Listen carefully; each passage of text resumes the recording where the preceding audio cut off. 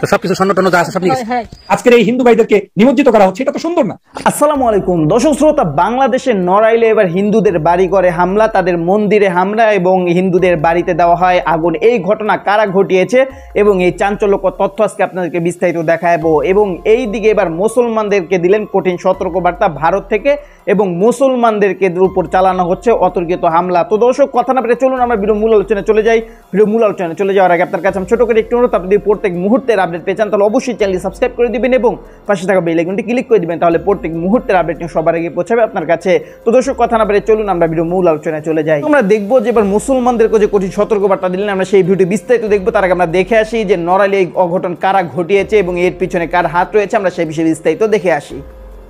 ইতিহাসও এখানে বলছি না। এই চোদ্দ বছরের মধ্যেই সংগঠিত ইতিহাস দু সালের উনত্রিশে সেপ্টেম্বর রামুর বৌদ্ধমোহরে বৌদ্ধ মন্দিরে হামলা হয়েছিল। আজ পর্যন্ত সেই দশ বছর পেরিয়ে গিয়েছে, এখানে আঠারোটার অধিক মামলা হয়েছে। একটা মামলারও এখন পর্যন্ত বিচার হয়নি। রামুর বৌদ্ধ মন্দির আপনি ক্ষতিগ্রস্ত করেছেন। রামুতে কোটি কোটি টাকা আপনি ইনভেস্ট করেছেন।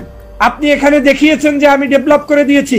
কিন্তু হোয়ার ইজ মাই হিস্ট্রি বৌদ্ধদের সেই পাঁচশো বছরের ইতিহাস ঐতিহ্যকে আপনি ভুলুণ্ঠিত করার কে? রাজনীতির কারণে তাদের এই ঐতিহ্য নষ্ট করার আপনি কে?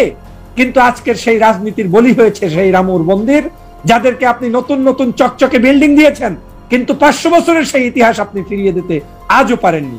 প্রত্যক্ষদর্শীরা বলেছে, সেই জায়গার সমিতির, বৌদ্ধ কল্যাণ সমিতির সম্পাদক তিনি বলেছেন, তার নাম হচ্ছেন, আজকের তিনি নামটি আমি এই মুহূর্তে ভুলে গিয়েছি। তিনি এই হামলার জন্য বলেছেন যে, এই হামলায় কোনো মুসলমান, মুসলমানদের বাড়িতে পর্যন্ত মানুষ গিয়ে আশ্রয় নিয়েছে। এমনকি নারী পুরুষরা আশ্রয় নিয়েছে।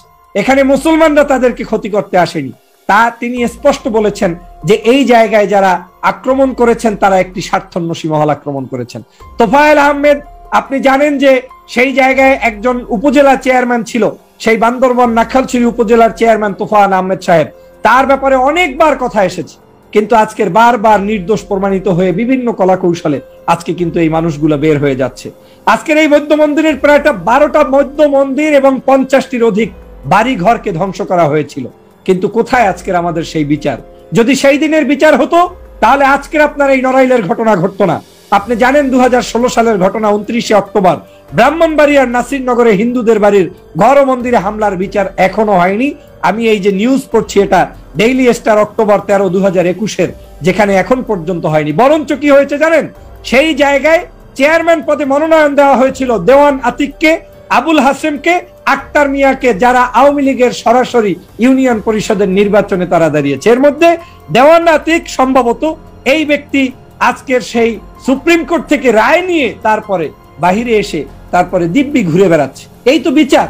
তাহলে বিচার জায়গাটা যদি না থাকে, সে হিন্দু মুসলমান তো বিষয় নয়। সেখানে কোনোদিনই আপনি সুষ্ঠু সংস্কৃতি চর্চা পাবেন না। আপনার মনে আছে রিসেন্টলি কুমিল্লার পূজা মণ্ডপে কোরআন রাখাকে কেন্দ্র করে সহিংসতা হয়েছে।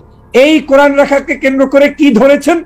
একজন পাগলকে ধরে এনে কোথায় রেখেছে? আজ পর্যন্ত আমার জানা মতে আমি আর কোনো নিউজ পাইনি। পাগলটা কোথায়? পাগলের বাড়ি কই? পাগলের বাপ মা কে? পাগল কি হেফাজত না জামাত? আমার কাছে কোনো তথ্য নাই। গোবিন্দদার কাছে তথ্য থাকতে পারে। কিন্তু ওই পাগলকে আজও আমি চিনি নাই, আজও আমি জানি না। কিন্তু সেখানে কি হয়েছে? হবিগঞ্জে ছাত্রলীগ এবং বিভিন্ন ধরনের আওয়ামী লীগের লোকেরা উস্কি দিয়ে মিছিল করেছে। সেই মিছিলে যারা অংশগ্রহণ করেছে, দশম শ্রেণি, নবম শ্রেণির মাদ্রাসা এবং স্কুলের ছাত্র, সেখানে নিহত হয়েছে। সেই মানুষদেরকে আক্রমণ করা হয়েছে। মুসলমান উপকার করতে গেল, মন্দির রক্ষা করতে গেল, আক্রান্ত হলো সেখানে আজকের মুসলমানদের কি মেরে ফেলা হলো? সামান্য সেই জায়গার আপনি বিষয়টি দেখেন। রংপুরের আপনি হামলা দেখেছেন। রংপুরের হিন্দু বাড়িতে হামলা হয়েছে। সেই পরিতোষ উজ্জ্বলের ব্যক্তিগত সেখানে অনেকগুলো নিউজ আছে, আমি একটা কোট করছি, যে তাদের ভিতরে বিভিন্ন ধরনের কথোপকথন ছিল। অথবা ওখানে যারা হামলা করেছে সেই হামলার মধ্যে একজন মুসলিম নেতা ছিল, যার যে ছাত্রলীগ আওয়ামী লীগের রাজনীতির সাথে সম্পৃক্ত, তার দাদা এবং তার আত্মীয় স্বজন আজকের এই নড়াইলের লোহাগাড়া উপজেলার দিগালিয়া এলাকায় অগ্নিসংযোগ, হামলা এবং ভাঙচুর যে গতকাল শুক্রবার হয়েছে, এই জায়গায় শুক্রবারের ভাঙচুরের অগ্নিসংযোগ যারা করেছে, এই জায়গা থেকেই অভিযুক্ত আকাশের বাড়ি যেখানে, তার আশেপাশের মুসলমানেরা কি বলেছে? আজকের ওই জায়গারই অভিযুক্ত ব্যক্তিরাই বলছে যে আজকের এখানে মুসলমানেরা কোনো আক্রমণ করেনি। আক্রমণটা করা হয়েছে, বহিরাগত কিছু সন্ত্রাসী এসে এখানে আক্রমণ করা হয়েছে। সো হু ইজ বহিরাগত? এখানে কারা বহিরাগত? ওই এলাকার মানুষ মুসলিম, হিন্দু ভালো আছে। আপনি বাহির থেকে গিয়ে ঢিল পাটকেল মেরে বাড়িঘর ভেঙে দিলেন। আবার আজকে সকালবেলা পুলিশ পাঠিয়ে, প্রশাসন পাঠিয়ে আপনি স্বর্ণ দিয়ে বাড়ি বানিয়ে দেবেন। এটা তো সন্দেহতীত ভাবে প্রমাণিত যে পরিকল্পিতভাবে কোনো একটি কাজ আপনারা করতে চাচ্ছেন, যার জন্য বাড়ি ভাঙছেন, আবার ভারীঘর আপনি করছেন। ওই জায়গার মসজিদকে বলা হয়েছে, মসজিদের ইমাম সাহেব এবং ওইখানের যারা মুসল্লি রয়েছে, তাদেরকে প্রশ্ন করেছে প্রথম আলো, আজকের নিউজ, ষোলোই জুলাই দু হাজার বাইশ। তারা প্রশ্ন করেছে যে এই জায়গায় আপনাদের মুসলমানদের তাহলে আপনারা কি করলেন? ওনারা বলেছে, স্পষ্ট। রাসুল ইসলামকে অপমানজনক যদি কোনো ব্যক্তি মানে পোস্ট করে থাকে, সেজন্য সেই আকাশ কিংবা যেই হোক, তার বিচার হতে হবে। কিন্তু কোনো ব্যক্তির বাড়ি ঘরে হামলা, এটা কোনো মুসলিম, কোনো ধর্মপ্রাণ মানুষ করতে পারে না। যদি কেউ করে থাকে, তার দৃষ্টান্তমূলক বিচারের দাবি করেছেন কিন্তু এই মুসলিম সম্প্রদায়ের মানুষেরা। তাহলে তারপরেও কেন?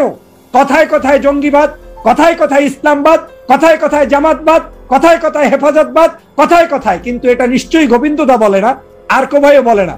কিন্তু কিছু সমাজের অবার্চিন কিছু ব্যক্তিরা আছে যারা নামে মুসলমান কিন্তু স্বার্থ হাসিলের জন্য বিদেশিদের পেইড এজেন্ট হিসাবে বাংলাদেশের হিন্দু এবং মুসলমানদের ঐতিহ্য বিনষ্টের জন্য কাজ করছে। যারা একবার আলেমদের তালিকা করেছিল দুর্নীতিবাদের তালিকায় এদেশের একশো ষোলো জন আলেম ওই সকল কিছু মানুষরাই আবার নালা নর্দমা থেকে উঠে এসে এই সকল কাজ করে। আমি জানি অর্কবাইয়ের সাথে আমি একমত আমি নিজেও ব্যথিত। আমি যখন ভারতে হিন্দুদের কাছে থেকে আক্রান্ত হই, আমার মুসলমানকে যখন কোরবানি দিতে দেওয়া হয় না, যখন তার গলায় রশিদে রাস্তা দিকে টেনে নেওয়া হয়, তখন যখন সেই লোকটি আমার সেই সংখ্যা লঘু হিসাবে আখ্যায়িত হয় বিপদের সম্মুখীন হয়, আমি তখনও কষ্ট পাই। কিন্তু এর মানে এই না যে বাংলাদেশের হিন্দুদেরকে আমি গলায় রশি দিয়ে টানবো। নো বাংলাদেশের ঐতিহ্য আছে। বাংলার মুসলমানদের সাথে ইসলাম প্রিয় মানুষদের সাথে, এদেশের হিন্দুদের একটি ওতপ্রোতভাবে স্বাধীনতা থেকে শুরু করে আজ পর্যন্ত সম্পর্ক রয়েছে। ভারত যেটা করেছে, ভারতের সেই কাজের আমরা তীব্র নিন্দা জানাই। মুসলিম হিসাবে ভারতের সকল মুসলমানদের আমরা নিরাপত্তার দাবি রাখি। কিন্তু আমাদের এই বাংলাদেশের এই ভূখণ্ডে এই সকল অপসংস্কৃতি চলতে পারে না। আমি সেজন্য সর্বশেষ দুটি পরামর্শ দিয়ে আজকের কথা শেষ করছি। সেখানে আপনি দেখেন, আমার কাছে যেটা মনে হয়েছে, হতে পারে এটা উগ্র সম্প্রদায়, হতে পারে এটা রাজনৈতিক কোনো দূরদর্শী সম্পন্ন যারা সরকারের মদতপুষ্ট দালাল কিংবা বহিরাগত কোনো দালালরা, এটার সাথে সম্পৃক্ত। সেজন্য যেটা করতে হবে, অতি উৎসাহী হয়ে কোন হিন্দু ভাইরা যাতে এই সকল ষড়যন্ত্রে পারা না দেয়, সেজন্য আমি উদত্ত আহ্বান জানাব। রাজনৈতিক উদ্দেশ্যের ফাঁদে পারা দেওয়া যাবে না। ধর্মকে স্বাধীনভাবে চর্চা করার মানসিকতা পোষণ করতে হবে। আওয়ামী লীগ থেকে কিছু পাবো, কিংবা দল থেকে কিছু পাবো, কিংবা বড় কোনো অফিসার হব, এই মনোবত্ব পোষণ করে হিন্দু ধর্মকে বিক্রি করা যাবে না। হিন্দুত্ববাদী জ্ঞান অর্জন করে হিন্দুদেরকে সুপ্রতিষ্ঠিত করার একটি সুন্দর ব্যবস্থা করতে হবে, যেটা গোবিন্দ দাও চায়, আমিও চাই। দর্শক, আপনারা দেখলেন যে কারা এই ঘটনা ঘটিয়েছে? ডক্টর ফয়জুল ফয়জুল হকের মুখে শুনলেন আপনারা। তো তার বক্তব্য শুনে যদি আপনার কোনো মন্তব্য থাকে, তাহলে অবশ্যই কমেন্ট বক্সে কমেন্ট আপনার মূল্যবান মন্তব্য জানিয়ে দিবেন। তো দর্শক, আমরা আরও একটি ভিডিও দেখে আসি, যে মুসলমানদের উপর যে ভারতে হামলা করা হয়, আমরা সেই বিষয়ে বিস্তারিত দেখে আসি।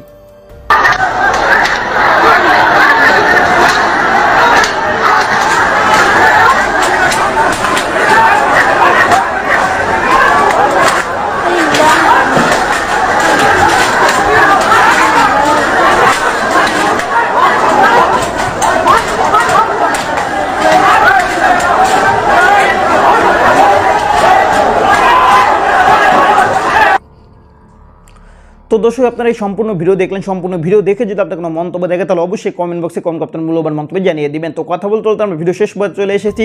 ভিডিওকে শেষ করে, ভিডিওটি শেষ করার আপনার কাছে আবার করছি আপনি যদি প্রত্যেক মুহূর্তের আপডেট পেয়ে চান, তাহলে অবশ্যই চ্যানেল সাবস্ক্রাইব করে দিবেন এবং পাশে থাকা বেল আইকনটি ক্লিক করে দিবেন, তাহলে প্রত্যেক মুহূর্তের আপডেটটি সবার আগে পৌঁছাবে আপনার কাছে। তো দর্শক, ভিডিও এখানেই শেষ করছি। সবাই ভালো থাকবেন, সুস্থ থাকবেন। আল্লাহ হাফেজ।